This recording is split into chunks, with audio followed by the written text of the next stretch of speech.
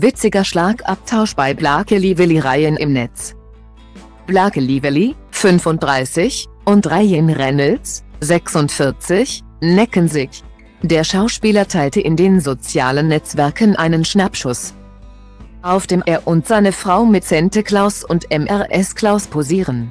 Auf dem Foto erkennt man vor allem eines, den dicken Babybauch der Gossip Girl Darstellerin. Denn das Paar erwartet derzeit Kind Nummer 4. Weil Ryan die Füße der Schwangeren abgeschnitten hatte, lieferten die beiden sich jetzt einen witzigen Schlagabtausch. Nachdem der Hollywood-Star auf Instagram das Bild veröffentlicht hatte, reagierte seine Liebste darauf prompt mit den Worten, meine Schuhe sowie einem genervten Emoji.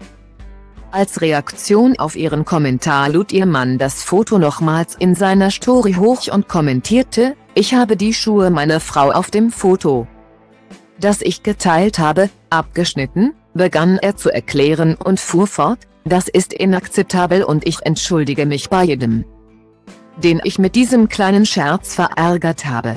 Der 46-Jährige teilte ironisch mit.